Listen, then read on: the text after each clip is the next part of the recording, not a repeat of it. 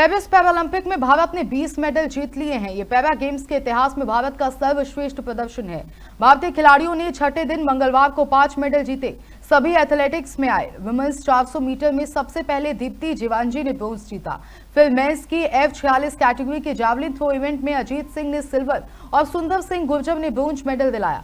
वहीं men's T बयालीस category के हाई जंप इवेंट में शरद कुमार ने सिल्वर और मरियप्पन थांगावेलू ने ब्रोंज मेडल जीत लिया है। हाई जंप में अमेरिका के इसवा फेच और जेवलिन थ्रो में क्यूबा के गुलेमा गोन्जालेस ने गोल्ड मेडल जीता। हाई जंप में भारत के शैलेश कुमार चौथे स्थान पर रहे, जबकि जावलिन थ्रो में रिंकू ने पाँचवें नंबर पर फिनिश किया।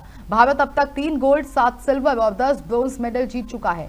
बीस मेडल जीतकर भारत फ़िलहाल सत्रहवें नंबर पर है। चीन पहले, ब्रिटेन दूसरे और अमेरिका तीसरे नंबर पर है। भारतीय प्लेयर्स ने टोक्यो पैरालंपिक में उन्नीस मेडल जीते थे।